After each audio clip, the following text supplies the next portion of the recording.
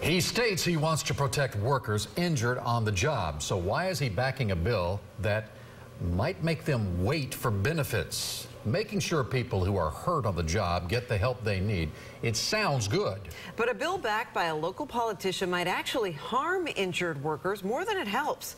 Eight on your side, senior investigative reporter Steve Andrews found that one of its backers is actually the head honcho of the state Republican Party. Yeah, I am told that this legislation is backed by big business, and Republican leadership in the Senate has pushed this really hard.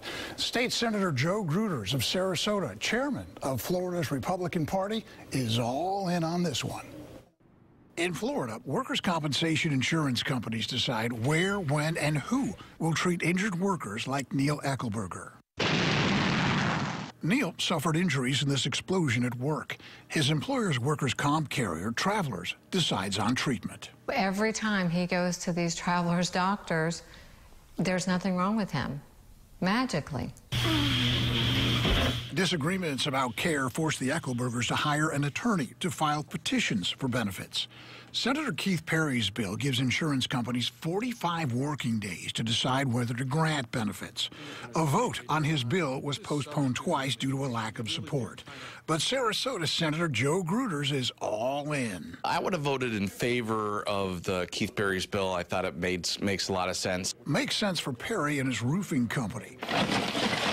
Workers' comp rates for roofers are among the highest in the state. If his bill passes, Perry's insurance premiums will likely drop. We should try to do everything we can to, to help out the, uh, the businesses out there, uh, but at the same time, make sure the workers are protected. This bill does nothing to return benefits to workers. It does nothing to simplify the process.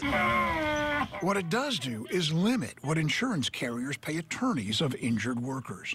Gruters is all in favor of that, too. And you want to eliminate or cut down on frivolous lawsuits. Neil's attorney, Michael Weiner, points out litigation occurs when injured workers disagree with insurance companies about care. Insurance carriers only owe attorney's fees when they wrongfully deny benefit. Critics contend this bill puts injured workers at a distinct disadvantage to insurance industry giants. And you heard it straight from Senator Gruters' mouth. I would have voted in favor of the Keith Perry's bill. I thought it made makes a lot of sense.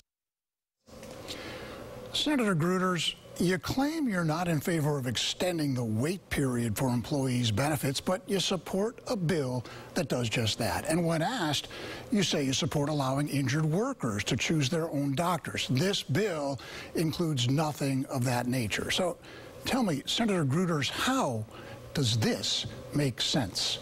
You know, as Will Rogers once said, if you inject the truth into politics, you have no politics. So where does the bill stand now? Well, Gruters claims that it's dead, but there was no vote on this bill earlier this week. It was temporarily postponed.